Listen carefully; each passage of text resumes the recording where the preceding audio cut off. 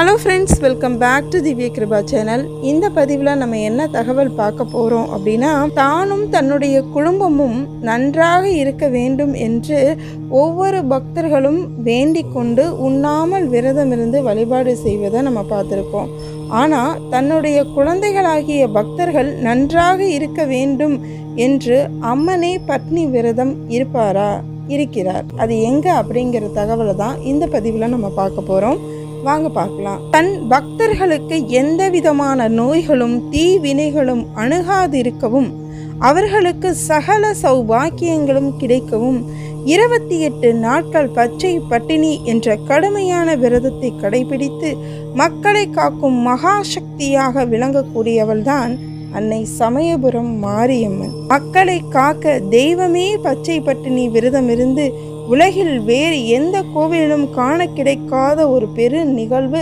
இந்த சமயபுரம் மாரியம்மன் கோவிலில் இப்பொழுது நடைபெற்று கொண்டிருக்கிறது. அம்மனின் பச்சை பட்டினி விரதம் ஆண்டுதோறும் மாசி மாதம் கடைசி ஞாயிற்றுக்கிழமை தொடங்கி பங்குனி மாதம் கடைசி ஞாயிறு வரை இருபத்தி எட்டு நாட்கள் வந்து கொண்டாடப்படுது.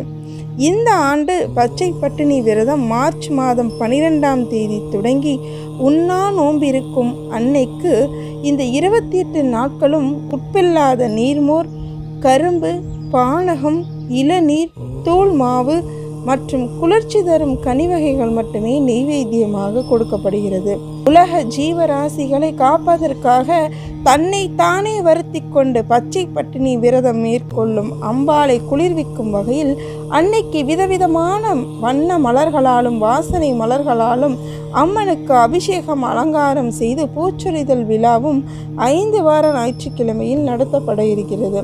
இருபத்தி எட்டாவது நாள் கொடியேற்றத்துடன் தொடங்கி அதிலிருந்து பத்தாவது நாள் சித்திரை முதல் செவ்வாய்க்கிழமை அதாவது ஏப்ரல் பதினெட்டாம் தேதி திரு தேர் விழாவும் நடைபெற இருக்கிறது.